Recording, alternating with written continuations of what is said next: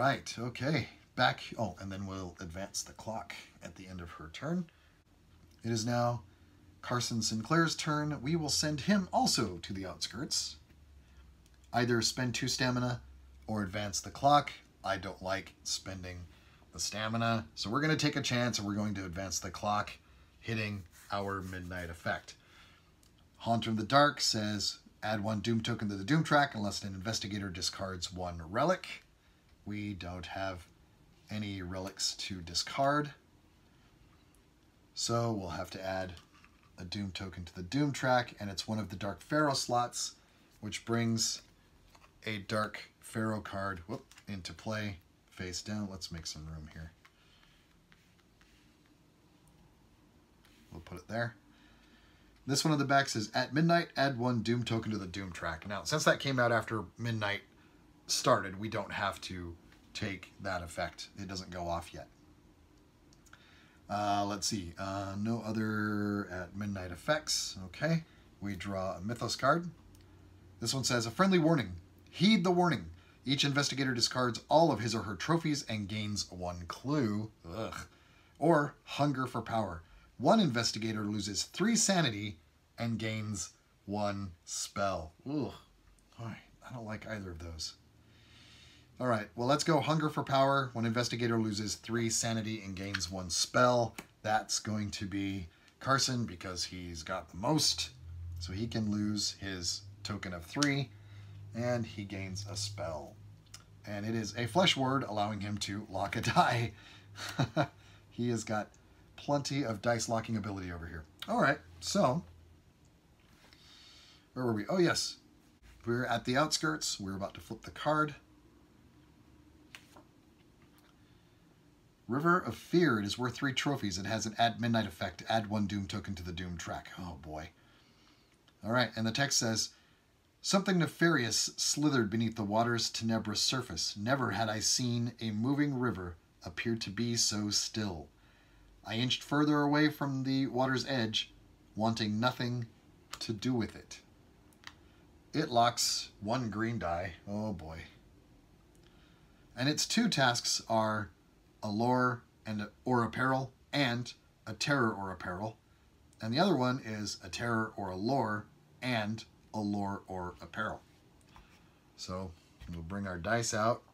He is going to use his 38 revolver to try to shoot the thing in the water. Returning that to the common item deck, adding the yellow the yellow die. Yeah, the yellow die.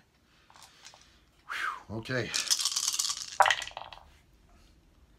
And let's see, he rolled two terror, two peril, and some investigate. Let's see, he can do the top one.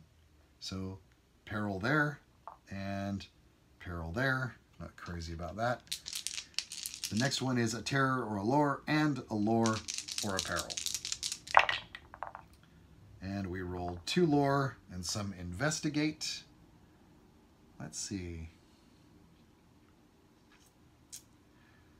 Let's spend a clue. We'll keep the lore. We'll roll the other two. And there's a lore. So lore and a lore completes that task. His reward is another ally. He's really stacking up the allies here. And this is Professor Armitage. Place two spells on Professor Armitage when he joins you. You may use these spells as if they were your own. Oh boy. I'm running out of room up here. Okay, Professor Armitage gets two spells. The first one is Wither, which allows him to lock a die. the second one is Find Gate. Discard to draw one Otherworld card and place it below the six adventure cards. Oh, I like that one. All right. He completed the adventure. We'll return the yellow there. Freeze up the one green locked die. He goes back to the entrance sheet.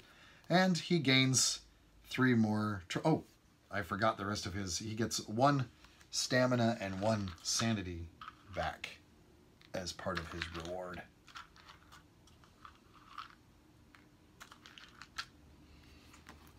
And three more trophies for him. And we'll refill yet again with Ill Omens. At midnight, add one Doom token to the Doom track unless an investigator discards one relic. We now have three at midnight effects in play. We're going to have to clear those off. Okay, and then we advance the clock because that was the end of his turn. We're now at Agatha's turn, and she is. Well, she's at two sanity and five. Five? How is she at five? She should only be at four stamina. Somehow she gained an extra one. Okay. Uh, let's see. Oh, and I've been forgetting her paranormal sense of each time she loses a sanity, she gains a clue. Ah, gosh, let's see. Should we send her off to do something, or why don't we? We gain two sanity or two stamina. She is going to spend two trophies to regain two sanity.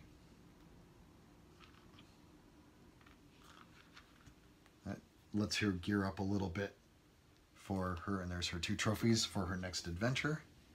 And that's the end of her turn. We will advance the clock. Back to Carson Sinclair. Carson Sinclair, what should we send you? You are not looking much better, buddy. He will also spend two trophies to regain two of his sanity. And let's see, what are we doing here? Oh, yeah. Okay. There we are. Now he's feeling a little better. And that was his turn. We'll advance the clock again. Well, now, I think Agatha is ready to tackle this Dark Pharaoh card because we're one click away from midnight. So we'd better send her there. And again, the add midnight effect was add one Doom token to the Doom track. This is Form of the Serpent. Again, these are not worth any trophies at all, and this is going to lock the red die. The text says, A smoldering serpentine creature of fire slithered forth from where it once stood. It pursued us through the winding tunnels for what felt like hours. Before turning its attention elsewhere, I feared whatever might have drawn the attention of such an unholy beast. Locks the red die. It has two tasks. Again, there's an arrow denoting top down. The first one is a terror or a peril and a lore. The second one is going to be three investigate and a lore. So let's go ahead and bring these out. We will use the 45 automatic common item to add the yellow.